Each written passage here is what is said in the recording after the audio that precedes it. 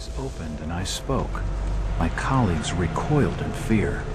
There was something unnatural in my voice and blank gaze.